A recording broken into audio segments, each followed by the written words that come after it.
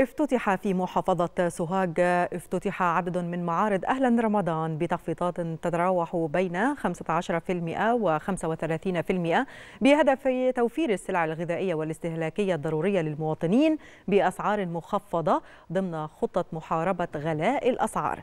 هذا وأشاد مواطنو محافظة سوهاج بجودة السلع بتلك المعارض مطالبين باستمرار عملها خلال تلك المرحلة لمحاربة موجة الغلاء العالمية.